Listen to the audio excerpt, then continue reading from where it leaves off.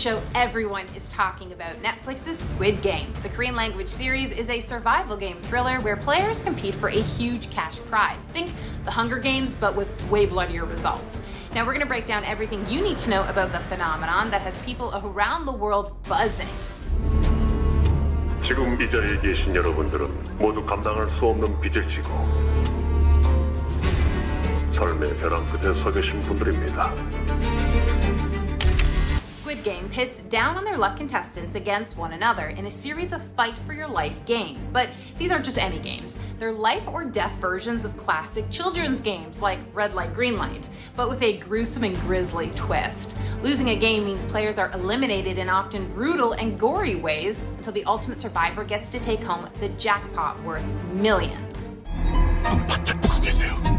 제일 센 중에부터 크게 살길이 Originally intended to be a movie, Squid Games, creator Hwang Dong-hyuk began writing the first draft way back in 2008, but struggled with funding until Netflix picked up the project.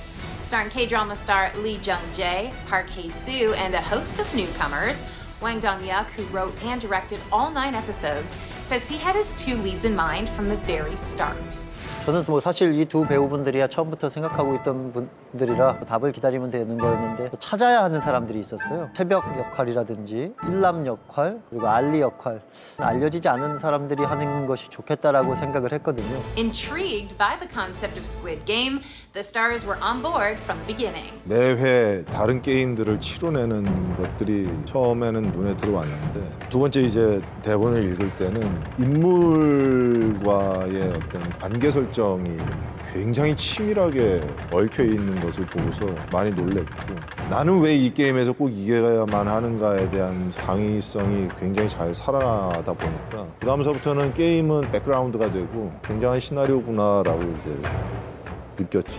Now, it's not just the nostalgic candy colored playground sets that have viewers talking.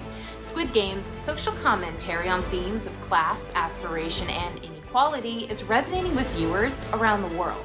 신선한 충격들이 저한테는 좀 많이 컸었던 것 같고요. 캐릭터마다 살아있는 삶의 과정들이나 죽음으로 향해 가고 또는 살려고 본능적으로 이제 움직이는 그 사람들의 욕망이나 이런 것들이 세밀하게 좀 많이 다가왔었었고 This is pretty wild, but the dark, hyper-violent series has already become the number one most-watched show on Netflix. Just 10 days after it was first released on September 17th, Squid Game was Netflix's most streamed title in over 90 countries, from Canada to Bolivia, South Korea, and Oman.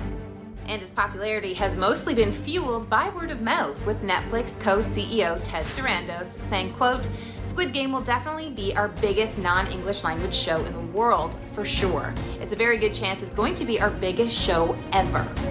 That's right, Netflix says it's on track to surpass Bridgerton's record breaking 82 million households that have streamed the series. I'm anything but interested in you. I love this. So, just weeks after the release, Squid Game has inspired Halloween costumes, memes, online games, and TikTok trends, with people attempting to compete in the same challenges as the contestants. Squid Game now has a playable game.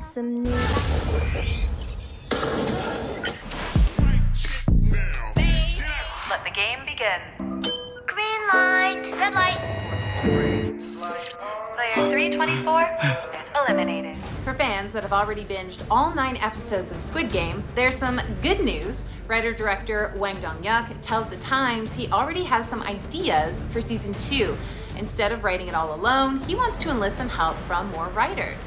Though the next season has yet to be given the green light by Netflix, the creator says he'd like to focus more on the people who run the games in season two and the very topical issue of policing, saying, quote, I think the issue with police officers is not just an issue in Korea. I see it on the global news. This was an issue that I wanted to raise. Maybe in season two, I can talk about this more. Well, judging from fan reaction, I don't think he has to worry about Netflix not giving the okay to a second season. So, what do you think? Have you watched Squid Game yet? Let us know in the comments below.